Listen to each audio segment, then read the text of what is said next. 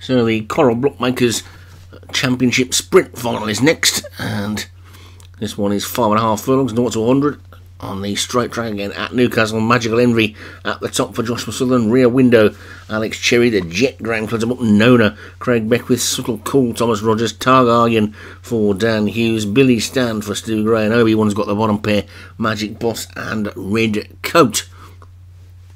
And there we go, nine of them then in the final, all ready to go, and away they go.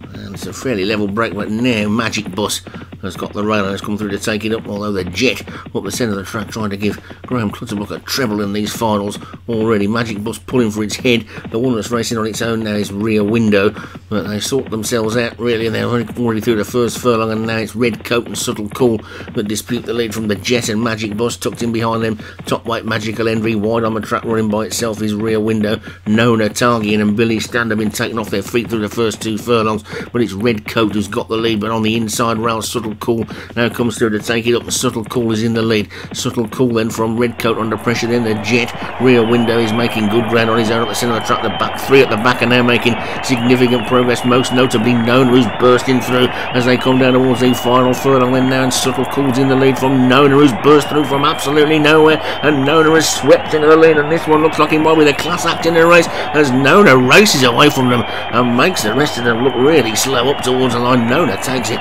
Subtle Cool, the Jet rear window, target, Targaryen after that, and that was a pretty impressive performance by Nona to take that with a blistering turn of foot for Craig Beckwith. Subtle Cool was second for Thomas Rogers, the Jet for Graham Clutterbuck was third, and rear window fourth for Alex Cherry, with Targaryen for Dan Hughes in fifth.